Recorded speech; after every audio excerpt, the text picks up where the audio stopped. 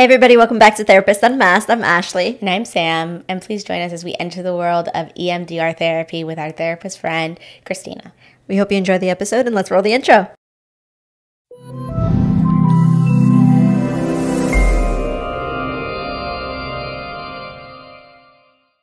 Hi, beautiful. Thank you so much for coming on to our podcast. We're super excited to have you on. So please introduce yourself. Tell us where you're from, what you do for work, and what your views are on mental health. Yeah. So, yay. I'm so happy to be here. I love the podcast. I love sort of the just nature of unmasking a therapist and humanizing them. It's wonderful. Um, so my name is Kristina Spurlock. Um, so I am based out of Seattle, Washington. And uh, what I do for work is right now I currently uh, have my own private practice. So I do that full time. Um, that's new for me. I started that about five months ago. And before then I was um, working full time at a hospital, um, at a crisis intervention center, working with survivors of sexual assault. Um, and so this has been a really interesting experience to branch out on my own and do private practice and manage absolutely everything. It's been very different, um, but really rewarding. I love that. Um, and then my views on mental health. I mean, I think mental health is physical health. Mm-hmm. they're just as it's just as important. It's because it's the exact same thing. Um, i think a lot of people like to separate those things. So physical health you break an arm you go to the hospital you get treatment everybody can physically see what's happening. Mental health is you're depressed you're anxious but nobody can see what's happening. Therefore it's not as real. And i think that part of my work is spreading this awareness of it's it's just as real. Like you would call out if you physically couldn't make it to work you can call out if you emotionally can't make it to work. Um, and so that's kind of my view on mental health and sort of breaking down that stigma of yes, if you had something wrong with you physically, you would go and get help. Why not do that for your mental health as well? How long have you been practicing for? And what piqued your interest to focus on trauma? Yeah. So I uh, first did my master's program, started 2015, graduated 2017, um, and did my internship at that same hospital um, in 2016. And so um, I had started working there. And I, I before then, I had worked at um, a uh, rape and domestic violence advocacy center in uh, Oregon, where I went to school. And I just really liked working with survivors. I felt that being there, sharing safe space for their story, like that was really not only obviously empowering to me, but empowering to them to have finally a safe space where they can just unload. Um, and so I really enjoyed working with survivors. And so I took that into my internship as well and started doing that. And um, I did my internship for about a year, but then I did other things. I did community mental health, group practices, worked with teens, things like that. But then came back to that hospital um, like three years ago because I was like, well, I loved this work. I loved the people I worked with, and I wanted to come back and do that again. Mm-hmm. Wow, that sounds really interesting. Yeah, um, it was fantastic. So, what made you go into the specific field? Because I'm also in trauma, but I was never one to say, I'm going to go into trauma. This is what I'm going to do. My whole spectrum was children and family for almost three years. So, oh, wow. what is your background with trauma and how did you get into it? Yeah, so I really enjoyed the women's women's violence, women's studies classes at my university. I thought that it was really interesting that like I myself had been part of a domestic violence relationship, but I hadn't really mm. been able to name what was happening. Mm-hmm. Um, I kind of was, you know, gaslit, called crazy, all those fun things. And so I was like, oh, I'm the problem. It's me, right? I'm the issue. And then I took classes like that and I was like, oh, interesting. I'm mm-hmm. not the problem. That is so interesting. Fantastic. And so I took that information to then start working. That's kind of what motivated me to then start working with domestic violence victims to kind of see, not necessarily heal my own things through them, but to like mm-hmm. help understand not only what was happening for them, but also for me. Um, to, to be there primarily for them. And then also, I'm like, if I learned something about my situation as well, or if I learned some resources and tools, like fantastic, a wonderful. And it just kind of evolved where when then I took on my internship in 2016, I started noticing that not only were people coming in for sexual assault issues, but also like the trauma that they had experienced leading up to those issues.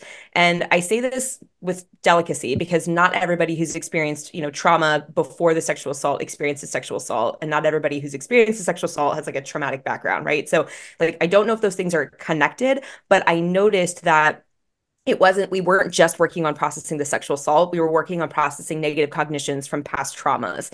And so that kind of got me really interested in just kind of learning okay so maybe there is some correlation between like you know the way that we're raised or the way that we think about ourselves or the traumas that we have and then also maybe increasing our chances of ending up in a relationship that isn't safe. Um, and then I, you know, I I think as all therapists, like we all have our own sort of maybe traumatic quote unquote background, right? That varies to some degree, but I think, you know, we also experience our own traumas. And so um, learning, have our lived experiences, processing and learning through that, and then seeing those same patterns in other people, I think that you just kind of develop this, I don't know, uh, for me at least, you develop sort of this want to learn more about those things again not for you to heal but just to learn those things like oh oh that pattern makes a lot of sense like i was you know i don't know ridiculed as a child or bullied as a child and now i have no self-esteem growing up like interesting how that works it all connects so mm-hmm. i think yeah just kind of seeing how often trauma was coming up for people and how similar it was but the experiences that resulted were completely different when we have our meetings of trauma of the trauma department. Um, mm-hmm. and mm-hmm. we start to talk about a yarn. It's like a yarn yarn ball unraveling. And when you start to unravel it, sometimes it can come like the unraveling process can be just straight and it'll be perfect, mm-hmm. it'll be fine. And then sometimes there's going to be knots and you have to take time with those knots to undo them to make sure that the rest of the yarn is going to come out properly and it's a tricky I process. I love it. Yeah, it's a tricky process. But at the end of the day, once you get to the end of the yarn, you know that it's going to be a clear, clean cut and it's going to be done. But you're still obviously going to have that long path that you're going to remember of, but it's going to be a healed path. Mm-hmm. Yeah. Yep you can more quickly connect those pieces together you know and again for for future reference you can reference the past right? So oh that's right my therapist and i worked on yeah processing this this plus this equals this. This is typically what triggers me. I'm going to take that information into the future and then you know either limit my triggers or know what my triggers are so that that way if they happen i can then follow the path back to what has helped me you know process these triggers in the past or cope with them or whatever. Mm-hmm. yeah i love that analogy. That's fantastic it's so interesting that like I'm I'm starting to branch out because I'm in private practice and now I'm like mm-hmm. I don't have any coworkers to talk to. I'm like trying really hard to like use Instagram or use social media mm-hmm. as a way mm-hmm. to maybe branch out and like, you know, talk with other therapists and meet people and go on podcasts and you know things like that. And so um I'm noticing that I thought I thought that all therapists had trauma cases and now mm. I'm recognizing that like that's not the case like I'm like I'm sitting here and I'm like no every single one of my clients comes to me with extremely heavy trauma because that's what I specialize in. And I was talking to somebody the other day and they're like, "Oh my god, every single one of your clients has like intense trauma? I don't know how I would handle that." And I'm like, I didn't know there was another option. Um, I work currently in a, in an outpatient clinic, and so I'm. It's it's not like we have like a different. We're I'm in a different department, but it's not like there's a wall between us. Mm-hmm. Yeah. So all of our offices are on the same wing and we get to all talk to each other. And I came to the realization that everybody has different specialties in this one building. And everyone, just like me, had to learn how to handle their caseloads because they also may have started in a completely different department and got this job where they were like, oh my goodness, I don't know how to do this. I don't know how to handle this. Yeah. And as therapists, they see us as people that we know exactly what to do, when to do it. And we're professionals. Like, yeah. No, we have to learn on the job. And especially when it comes to suicide, that's also a very scary topic. And for a very long time, it was actually a very taboo topic. Not mm-hmm. everybody talked about it. There wasn't much awareness out in the world so when I first started my current job and I got a client who was had suicidal ideation, I remember I was in my room and I was like, "Oh my goodness, I don't know what to do." Yeah, all that training just out the window. Yep. I don't know what to do. So um at that point I called my supervisor and I was like, "What do I do?" Like I'm freaking out a little bit right now. Even though like I stayed calm in front of her, I I'm nervous. I don't know what to do. And she was like, It's okay. It's okay. Call her mom. She knows that you have to call her mom because she's a minor. Um, and talk to her and say how you need to take her to the hospital. And, and just go as the process flows. I'm like, okay, okay. Now I know exactly what to do, but as a beginner, it's like very oh yeah anxious. You're like, oh my gosh, oh my gosh, we've run over this case, you know, with this vignette 400 times in graduate school. But yet, you know, when you're confronted with it in real life, it's like, oh my God, I don't know what to do.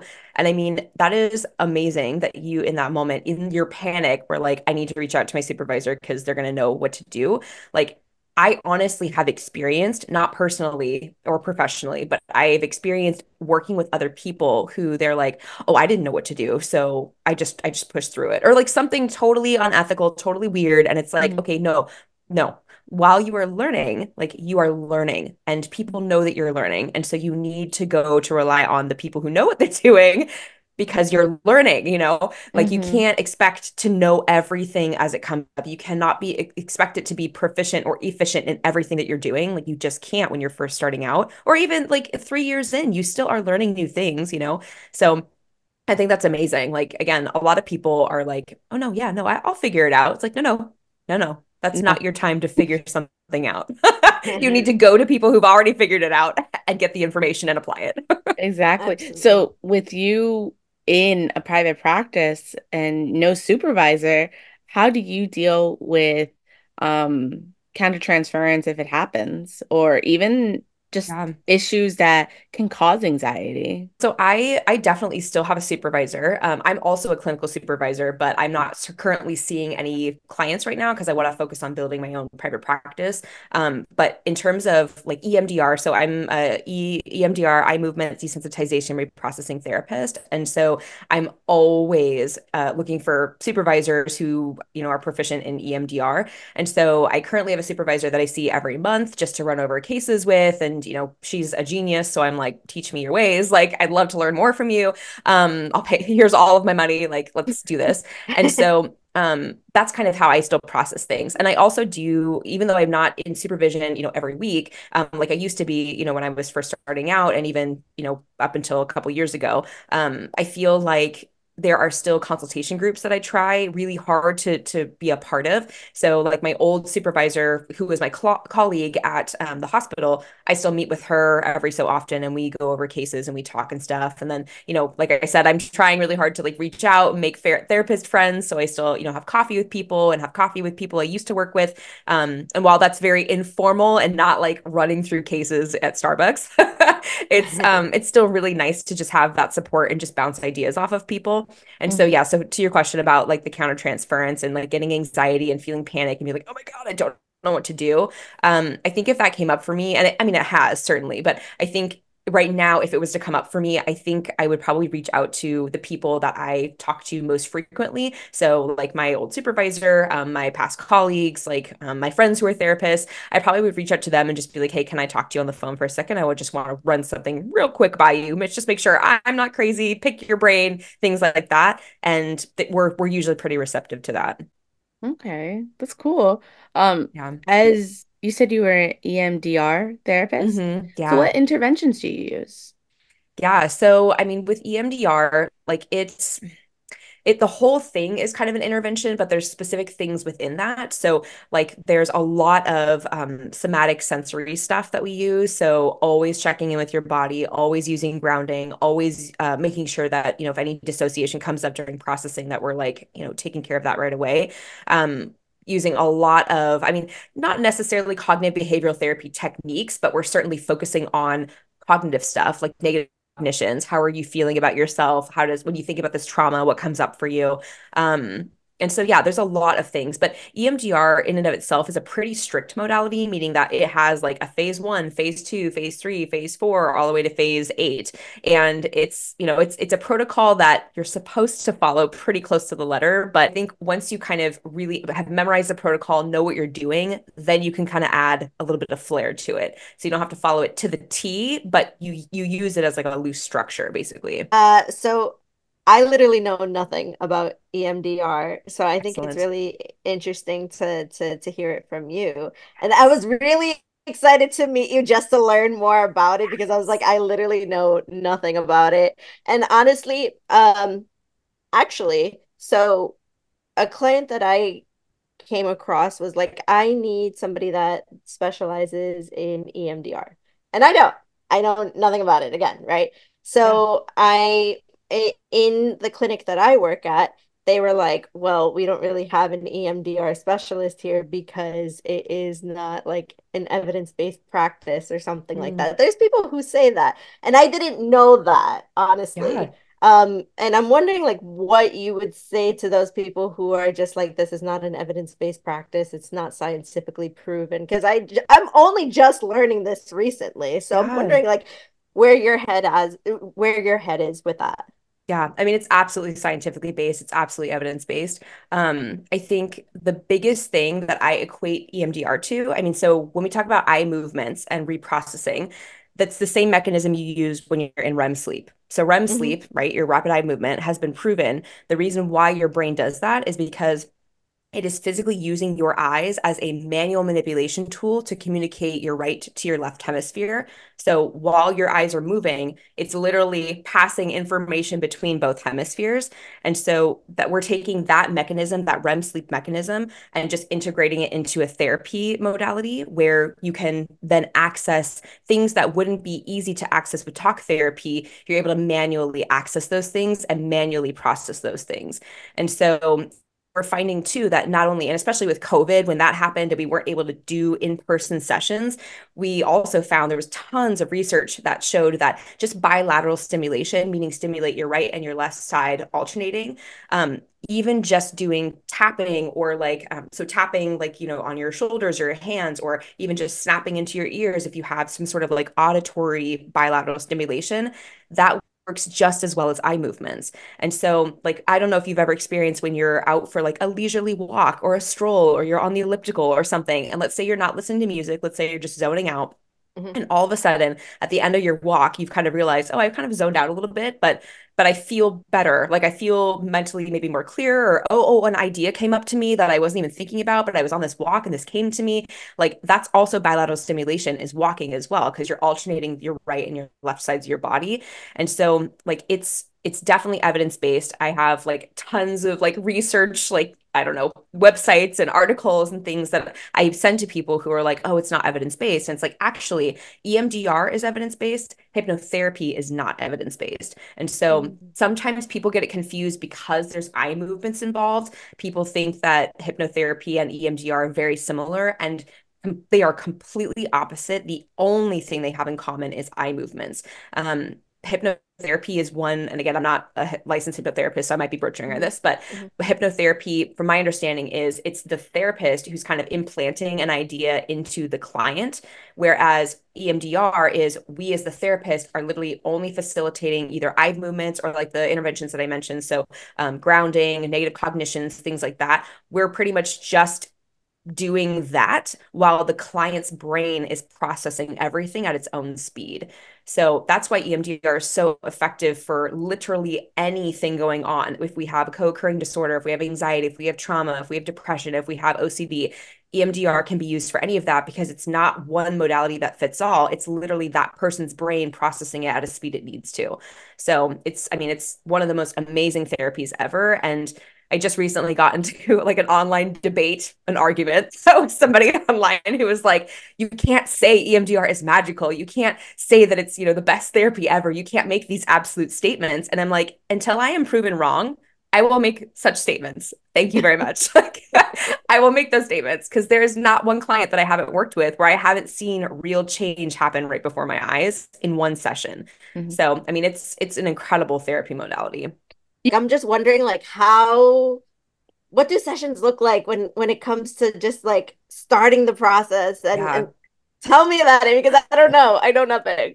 Yeah. Okay. So basically, um, when it comes to like those eight phases, so the first phase is what's called history taking. So I tell my clients this looks a lot like normal therapy. So what I'm doing as the EMDR therapist, while we are talking, while we're establishing rapport, while we're getting to know each other, what I'm doing I'm locking in in my mind the things that I think would be helpful to process more in depth. So, for example, you know, I go through like genograms, like we talk about family trees, we talk about family dynamics, we talk about, um, you know, just tell me, I don't say like tell me your most traumatic memory, but basically like suss out what are the things that stand out most to you when you're, you know, dreaming at night. Like, what are your dreams about? You know, so it's not necessarily just these random questions. The questions have a purpose, and the purpose is what do I think is a theme that would be really helpful to process? So, for example, some themes that I find are when clients are talking to me, sometimes they're saying, like, you know, oh, I'm not good enough, or, you know, I didn't do enough, or I'll never be loved, or things like that. I lock those things away or I write them down because my brain is mush. You know,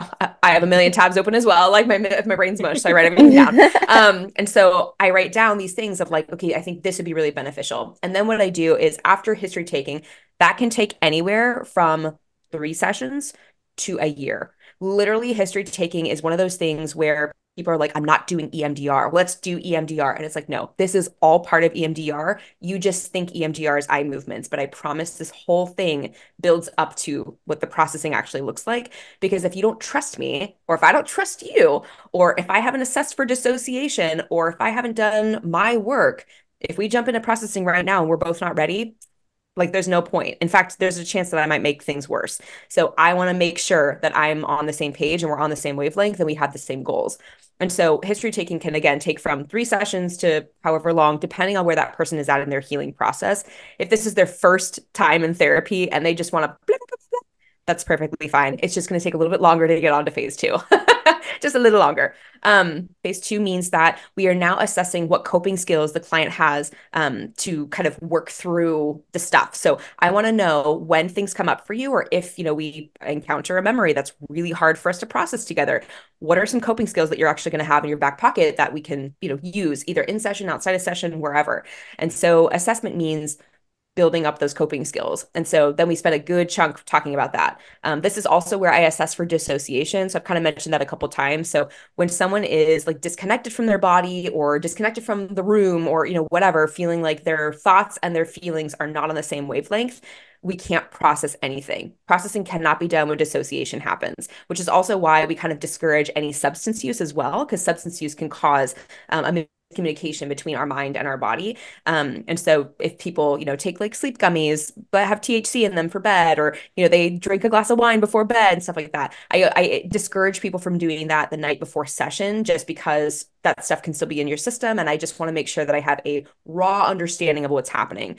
Um, this does not include anxiety medication. This does not include mood stabilizers, medications, things like that. It just includes like external extra substances. Um, and so, yeah, so we can spend a good time, a good chunk working on coping skills and assessing. Um, but then when we get into the actual processing, then that's phase three, which is called um, like evaluation or setting up the memory to be processed. Um, and so that is a really fun one because then I get to then take all the information that I learned during history taking and then get to say, okay, so this is what I learned about you. I am feeling like there is a huge like negative cognition around self-worth, self-love, things like that let's go back and tie that to a memory that we want to start on. And so typically we pick like the youngest memory, typically pick like what's called a touchstone memory, the first memory that's related to this. This is also when we use somatic interventions. So tell me what you're feeling in your body when you feel or when you think about that. Okay, have you felt this another time in your life? When's the time that you felt this the most? Things like that. Um, and then from phase three, we just jump right into um, what's called desensitization, which is where we use the eye movements or the bilateral stimulation to then sort of help them work through that. Um, and so, yeah, basically, the super long answer to your question is um, an entire EMDR process can take anywhere from one session to 10 years. so like there's no there's no timeline and it's completely dependent on the person's brain their body the rapport what you know what therapy they've had before how much they trust therapists things like that. So it's just it's totally independent when people ask how, how long will it take me to process a memory? I'm like i have no flipping idea. Sorry. Do you tell them what to do or like mm-hmm so like how does that work? Yeah so um for me when i'm so i prefer in-person sessions. I do i do still offer online ones but it's like one day a week and i'm like not here for it. I'm like man i don't like this. So when i do in-person sessions i have what are called tappers. So they're just these little like wireless vibrating buzzer things that i have my clients wear around their wrist. Um, and then from my phone i can control the intensity so how hard the buzzers are actually buzzing on them and i can control the speed so how fast the bilateral actually happens um, which is really, really really cool. And then from there, uh, how it used to go before COVID is we used to be really close to people, really, really close to people. And I would sit like this, my head kind of out of the way. I would sit with my two fingers up and I would just move them side to side. I cannot even tell you how tired my arms would get after like three sessions in a row. Like, holy crap. Um, so the buzzers have been a godsend because I'm like, great, look at the look at the buzzers, like look at them as they go. Wonderful. My arms can just rest easy now. So basically, we kind of just talk about like these are these are natural mechanisms that your body is used to doing anyway for processing. So people are like, oh my God, if I move my eyes, like, oh, what's going to happen? Oh my gosh. And it's like, you move your eyes every single night when you go to sleep. Like, this is not a new mechanism for you, and your body is going to know what to do. It's just going to feel weird doing it awake, basically. Um, and we kind of describe the feeling of EMDR as if you've ever been sitting on a, a train and you're kind of looking out the window and you're kind of, kind of zoning out, but you're not really, you're kind of just like seeing things pass by you. And you're like, oh, I can recognize what that is. Oh, I can recognize what that is, like as it passes by, but it doesn't stay that's kind of what EMDR is like. So you're able to recognize I'm sitting on the train or I'm sitting in my therapist's, you know, room, but I'm noticing that things are just kind of going by me and they're not going by super fast. Like I can recognize what they are, but they're not staying. So they're not, you know, I'm not just sitting in whatever's coming up for me. So it's a really, it's just a really interesting process. And again, it's different for everybody. So that's kind of the general explanation that I give, but it could be different. People could either see everything all at one time or they could see nothing. They just feel things in their body. It's very interesting. That is interesting. And sounds like you have done put in so much work into learning this this whole intervention. It's really it sounds I I want to do more research on it now. Um, but you have done yeah. so much research have you ever worked on a paper or ever done a class or anything based on this intervention? I haven't. I'm um, so currently uh, in the prog- process of getting my what's called a consult in training or being a consultant when it comes to EMDR. Um, mm-hmm. Um, so I'm trained through the uh, EMDR International Association, which was sa- founded by Francine Shapiro, who is like the creator of EMDR.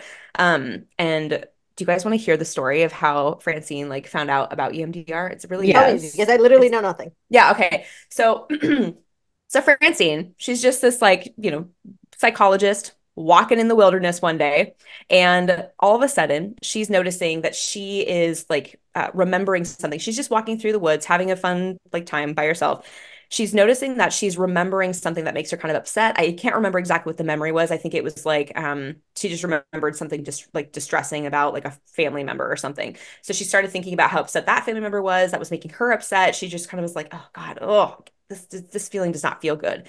She started as she's walking through the woods she noticed that the light was coming through the trees on the right side and the left side kind of alternating and as she was walking and as she kind of was like noticing the light coming through and letting her eyes kind of follow where the light was she noticed that she had less distress in her body the memory that she was just thinking about she was like oh like I'm I'm actually not I don't feel as bad. Like I'm still able to recall what the memory was. I'm still sad that my, you know, cousin or whatever was upset, but I'm not feeling upset about it anymore. And like, that's really weird. And so she took that mechanism, went home, did a crap ton of research of like, how is this possible? How did my eyes move? Like, and how, how is this, how am I fine now? How did that happen? And so, yeah, she did a ton of research and then founded like the eye movement desensitization reprocessing international association. Like she's just crazy. Um, is there ever a time where like they've become like really distressed, just remembering everything? How yeah. do you ground them back into reality at that point? Yeah, and this is why it's so important to do in-person sessions, in my opinion, just because like if someone is online, like there's only so much that I can do to ground them you know there's only so much. Like i can only scream at them so many times or i can you know instruct them to do things right? But like i don't have any actual control. I don't have any presence in the room. I don't have any understanding of what's happening on the other side of their screen. And so when they're in the office i feel like if they're yeah maybe dissociative meaning that they're maybe more in the memory than they are present in the room um that's kind of when they get caught up in those feelings of yeah emotion distress things like that. Um oftentimes like you kind of just have to really ground them in the present moment. So again reminding them that the thing you're experiencing the thing that you're thinking about that already happened. You already survived that. Like you did an awesome job. Whatever you did worked because you're here sitting in the office with me right now. Um and typically we in- introduce a lot of like tactile stuff. So like we'll toss something back and forth, or um, I'll have them smell. My I have like a, an assortment of little like um, essential oils that I have them smell, and I have them pick their favorite one before we start, and then they're like, "Oh my god, it's my scent!" and so we have them like smell that, you know, to help ground them. Um, basically, we do anything that we can to bring them back in their body to make them recognize, right? Like you are not in the memory. The memory is not what's your reality right now. Yes, that happened to you. Yes, that's extremely distressing thing and also you've already done the hard part you've already survived. And so that is kind of how i ground a lot of my clients and that tends to work. Um, then we can kind of assess you know if it if it happened like five minutes into the session right? Then we can maybe like kind of tiptoe back into the memory or maybe process something or switch gears into something that's more positive or maybe less distressing. Um, but i i like to continue going on the distressing memory because i think it's really important to prove to like ourselves and our clients you can you can do hard things you can get through this. Like you can conquer the really distressing things. You can widen that window of tolerance. You can make it. Um and because once they once they realize that once they are like oh my gosh i trust myself enough to know that i'm going to get through this processing becomes a walk in the park. Like those distressing things no longer are scary because it's like okay i can recognize that this is totally temporary. This is so good. I'm super excited. This when you find something that you're really passionate about like it doesn't feel like work it's mm. like, oh my gosh, I get to do this. This is so exciting.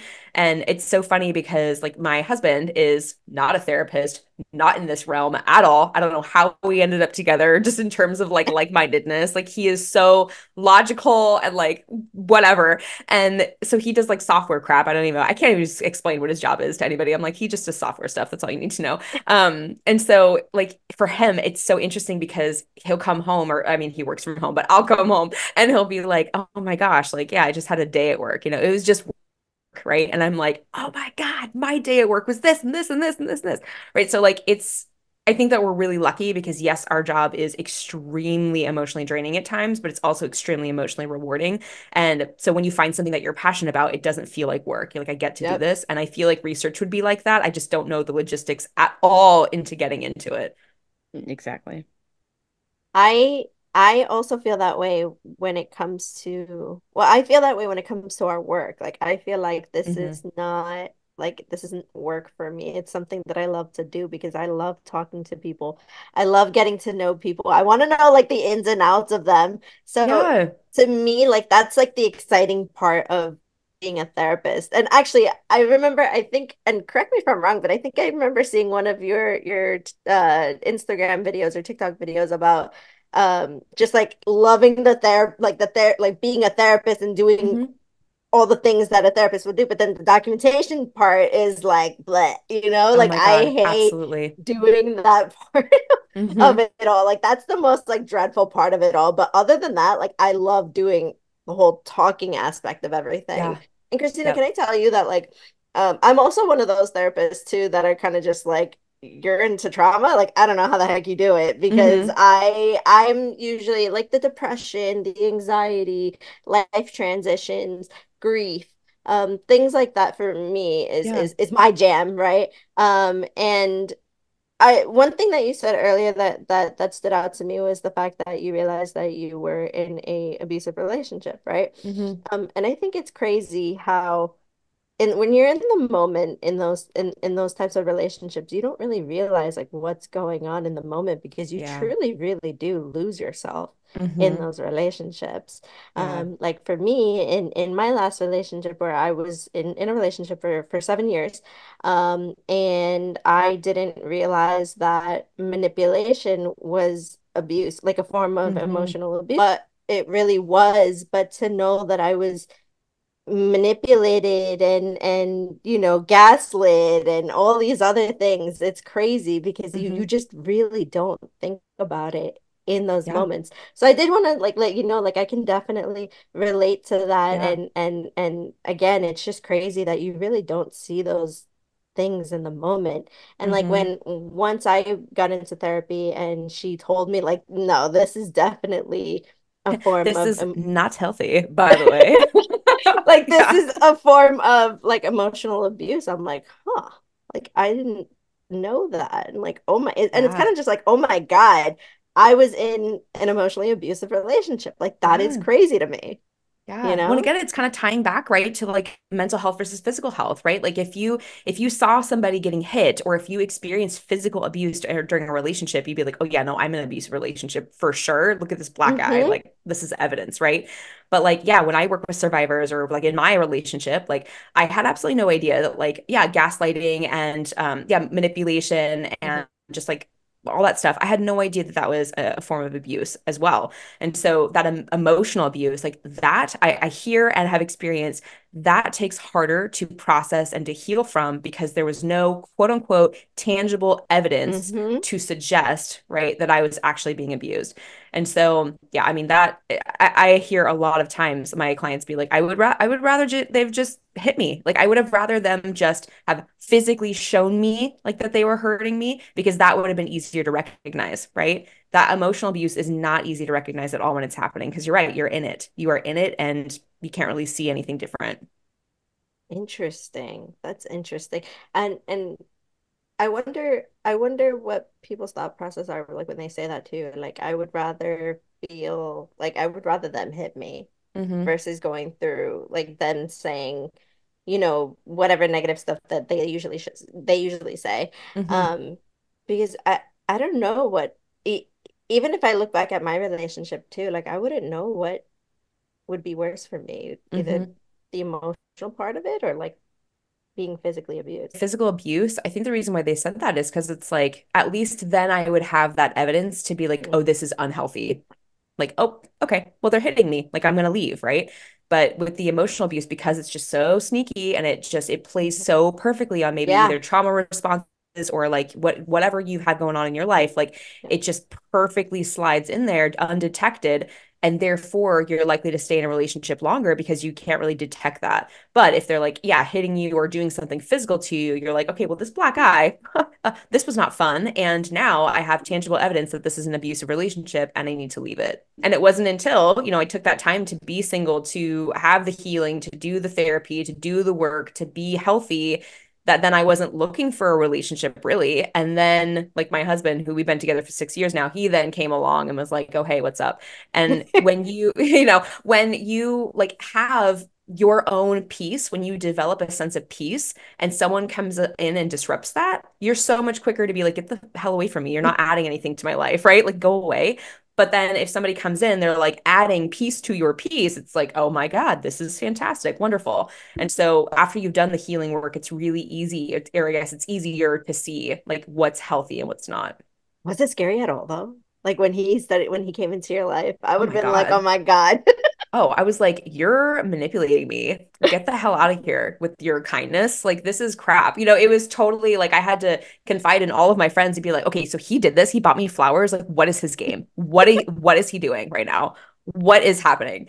And they're like, is it possible that he just bought you flowers because he's thinking of you? Like, nope, it's not. So he must be doing something else. Like, whatever. So that was a huge learning curve. And I find that to be pretty pretty on point actually with a lot of people who get out of abusive relationships and then find somebody who's healthy. Like they're like this is the hardest thing i've ever had to do because i'm yep. trying to like mind read and guess and play games and they're not and i don't know what's what's real and what's not. So yeah it was it was a hard first year but obviously worth it. Um but yeah it was difficult and he's the most patient human being on the face of the planet and had to put up with my my nonsense for, for a year. So i'm like you're it You've won. You've won the prize. You've won. Me. It's me.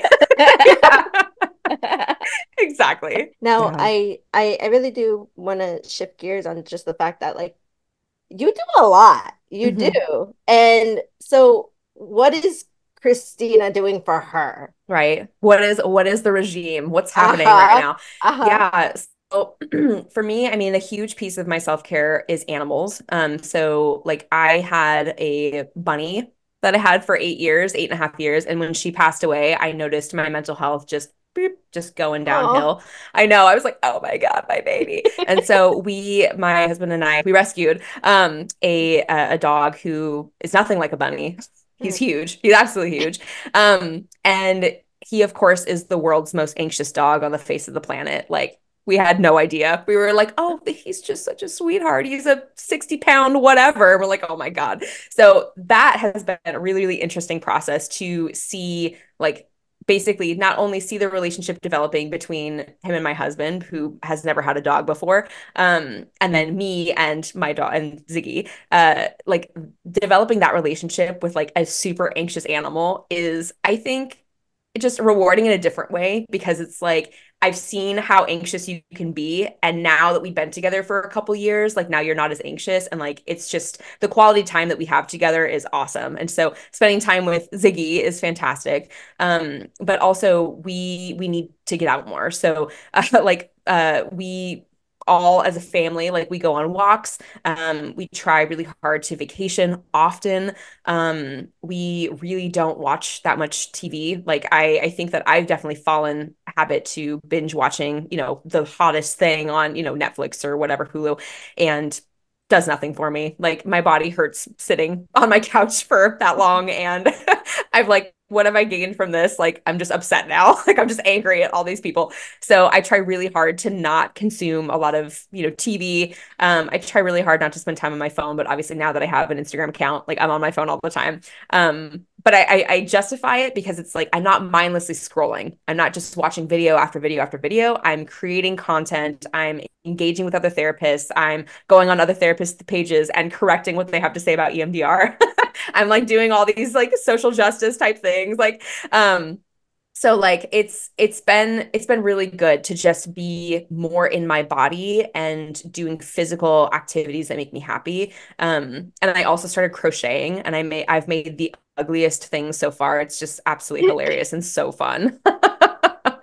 Yeah. Like do you ever have those days like especially owning your own private practice and just seeing all these clients that deal with a lot of trauma like do you ever just experience burnout at all yeah, I think because I've worked in community mental health and then I worked at a group practice where we were not treated fairly, both of those experiences in my life have taught me exactly what contributes to burnout. It is like seeing too many clients, not having enough support, um, feeling as though you are being used. So feeling as though like it wouldn't matter if you left, like you could be easily replaced, like you're not special in the workplace. Um, and also then yeah, just not having time like to yourself. So I was working, you know, I was seeing eight clients a day for five days a week. I mean, just horrible, horrible stuff. And then on the weekends, I would notice that Saturday would be my day to just recover. I wouldn't want to talk to anybody. I wouldn't want to do anything. I would just be like, leave me the hell alone. I need to be in a cocoon of nothing. And then Sunday would be the day that then I would have to do chores because Monday is around the corner. Two days is not enough. It's not enough. So, what I definitely took into consideration when I was building my private practice is I and again, this is my personal preference. A lot of people don't agree with it. I front load my weeks, meaning I see nine people on Monday, nine people on Tuesday, five people on Wednesday, and then I'm off the rest of the week because I need Thursday to just decompress, see nobody, just focus on doing notes or you know whatever whatever thing that I need to catch up on, and then Friday is my actual weekend. So then I have Friday, Saturday, and then Sunday is the day where you mentally prepare and have the Monday, you know, Sunday scaries. So like Sunday doesn't count as a relaxing day. doesn't count. So yeah. like you just you need to have two full days off where you are not thinking about work, where you are not doing work related things and you are just existing and doing things that you want to do. And so that was something that I had to learn through just my work and professional process. Um, and I took that into consideration when doing my private practice since I started this new job back in December, um, my schedule has been just like I've been everything like everything that I used to do, I just haven't been doing because I'm trying to figure out like a schedule and just like how you know. So I just recently started doing boxing again, and it's been such a huge reminder to me of just like how much of a stress reliever it is for me and to just like get all of those emotions out that that I've been like internalizing throughout the whole entire yeah. day. I love boxing. I personally haven't done boxing like consistently or anything, but I know like I, I tell my clients like if if your automatic go-to trauma response is fight, get yourself some damn gloves and go punch something. Like go get that energy out. I know one of my best friends, um, she loves boxing. And I've attempted to go to a class or two with her and it's great. I love it. Um, me, I haven't taken a class in a long time Um, but I do do Soul Cycle, and in the middle of the class, when it's time to do arms, a majority of the instructors they're just like, okay, with the weights, they do right, left, right, left, and it it mimics that boxing movement, and so it just feels so good. And then I've It also does. seen people like uh, there's been uh this new machine like it tells you where to punch and it goes Oh, with music it it looks so cool I want to get it it's like musical boxing. yeah yeah yeah. That's and awesome. I think boxing is the best stress reliever um I've done so many things that involve stress relieving like I've done hatchet throwing I've done um I've done boxing. I've done um I think it was um this breaking room. Oh, the rage room. Oh yeah, Yeah, yeah. those are amazing. Like anything that just gets you out of your mind and just if you need to break something, you break something. Like I love it. It's great. And I love the fact Yeah. that Ashley has been doing that for herself because I know with the new her new schedule and everything, it's been really hard for her to find time. And I Mhm. know yesterday she posted like it's a boxing day. I knew she went and I was like, this is great. I love the fact that she's back into it because I it it changes your mood. It Mhm. changes the way that you are for that day. If it it helps not to like be angry at other people in that moment. Like I know with our jobs, like obviously our clients' um feelings and stuff, they can stick on to us. And so sometimes we can carry those feelings and just the fact that it's there to help us distract ourselves and Mhm. get those those thoughts out of our mind and remember that we are not them. We are not carrying those issues. We are our own individual people once we leave our Mhm. jobs. I think it's fantastic. It's phenomenal. And so I'm happy Yeah. for the like update, we've we've done everything we can do. Yeah. Yeah. I love that. That's amazing. Well, and also, I mean, going back to EMDR, like boxing, because you're not punching two at the same time, like boxing is a form of bilateral as well, you know, because you're doing right, left, right, left, alternating. Um, and so yeah, I boxing is phenomenal. That's so awesome that you're doing that. I am slowly like reminding myself of like things that I love to do and and like I've been letting my job get in the way of of all of it. So to Mhm. help me de-stress myself, like it's it's it's been awesome. It really has Yeah. been. Well, and again, like not not only I know the things that I like to do, but then going out and actually doing those things, Yep. like you're proving to yourself, I'm worthy of my own time. Like I'm worthy of doing those things for. And that's why I think a lot of people get caught up in that of like, I know what I'm supposed to be doing. I'm supposed to be drinking water. I'm supposed to be eating healthy. I'm hmm supposed to be going to the gym. I'm supposed to be doing all these things, you know, and but then they don't. It's it's has nothing to do with their want, has nothing to do with that. Like it is truly, do we have the energy? Do we have the motivation? And are we, uh, do we feel like we're worthy enough of doing that, of doing kind things for ourselves? And a lot of people would say no, like And that unfortunately and subconsciously. what do you what would you tell somebody that's trying to get into the field?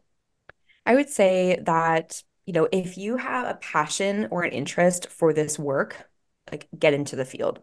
I think that a lot of people sometimes wait until, you know, they've done their own therapy or wait until, you know, they feel like the timing is perfect or whatever. And, or they, you know, do their own self-study because they're like, oh, I want to know everything before I go into this field. And you can study until you die and still not know everything you're going to need to know going into this field. Um, like you you have to be open to learning new concepts. You have to be open to learning that you're not always right, and that's fine. Um, like you have to just kind of let go of that power a little bit, even though you're in a power dynamic with a client. Like they're the expert of their own story. And so I think some people maybe go into therapy or the therapeutic field thinking like, oh, I'm going to be a Freud figure. I'm going to, you know, have my clients lay down on a couch and they're going to tell me they're blah, blah, blah. And it's like, no, that's not what therapy is anymore. Like, therapy is very much like two people who are humans in a room talking about stuff. One of them has, you know, credentials to actually help, the other one is just existing. And so, there's a lot of nuances that go into being a therapist, and you just have to be flexible and you just have to be open to that. But if you have an interest and a drive to help people, like go into the field. It's fantastic. Absolutely. And now knowing that you do what you do with having your own private practice and such. On a scale of 1 to 10, 10 being the best, where's your mental health at today? I would say it's probably an eight. Like it's pretty good. You know, I think that I don't know if I've ever actually been at a 10, maybe at Disneyland, but like Disneyland happiest place in the world. Like, yeah, yeah. that wasn't me. That was being at Disneyland, you know? So, I mean, I think, yeah, my mental health is pretty dang good. Like, I have my own therapist. I don't know if I, I know that some therapists don't have therapists, and that's okay. And also, I'm definitely going to start making videos that poke fun at therapists who don't have therapists just because it's like we want to practice what we preach, you know? Like we want to do that and have that extra support, you know? So um, I think that it's super important that therapists have their own therapist. And um, yeah, just doing all of that really, really, really hard work um, it, it, pays off like it's not instantaneous i can tell you again like even even though my mental health was not good when i was going through the graduate school program like i have just done nothing but learning and healing since then and now it's been okay hold on math uh 7 years and like I'm doing better. I'm doing much better. I would probably say that back then I was probably a 4 out of 10 and now. I'm an 8 out of 10, you know? So like I'm doing much much better. Um and so again, like your mental health doesn't have to be perfect to go into the field, but you do have to have enough self-awareness to notice like what's going on for you and also getting get your own help. So we covered a lot of things. I really appreciate you educating me on like what EMDR looks yeah. like and just the whole process of it because I literally had no idea. We we learned about this stuff like very briefly in school, but like I never really cared to pay attention to it just because I was like, all right, trauma's not my thing. So like totally just absolutely out the window. I Piqued an interest of it just because like I've heard clients be like, oh, like EMDR has worked for me. And I'm like, okay, but like what is that? What does yeah. that look like? So to know that you were able to just educate me on that and and even our viewers on just like mm-hmm. what that looks like, yeah. I I love it. And I really appreciate you taking the time out to to talk to us today because this has been such an awesome conversation. Yeah. Absolutely. Yeah. yeah. And if anybody wants to know, including you guys, if you, if anybody wants to know more information about EMDR, um, the most reputable place, because there's a lot of stuff going around, the most reputable place to get that is emdria.org. Like that is again francine shapiro fan- founded the international association that is going to be the most reputable up-to-date research and information that you can possibly find you can also look for an emdr therapist on that page so you can go to that page and there's like a little tab at the top that says you know find a therapist that's where you could find an EMDR therapist for somebody. So it's a fantastic resource. I highly recommend it. I send all my clients to it. And if you're interested in getting training too, they have training opportunities as well. That's great. Awesome. And thank you so much for for coming on and um reintroducing me to EMDR because like mm-hmm. Ashley, I've heard about it. I've also have, you know, touched on the topic because trauma. Mm-hmm. but trauma. um yes. but I've never really got that much information out of it. So I also did learn a lot today. So thank you so much for that. Yeah, absolutely. My pleasure. I mean, if, if the one thing that I'm known for ever is go to her with all of your EMDR questions, like I've done my job right. So that's mm-hmm. fabulous. And I will never get tired of talking about it. I personally hate doing research. Um, mm-hmm. so which is also probably why I haven't been able to to get my PhD or anything that like that because research is just not my thing. Um, and so so to seriously hear it from you, it, it's I love it. Mm-hmm. Um, now with that being said, thank you guys so much for watching. Please like, subscribe, comment, share this with your friends and family. Listen to us on Apple Podcasts and Spotify. Follow us on therapists underscore unmasked on TikTok and Instagram. And we'll see you guys next time. Bye. Yes, bye.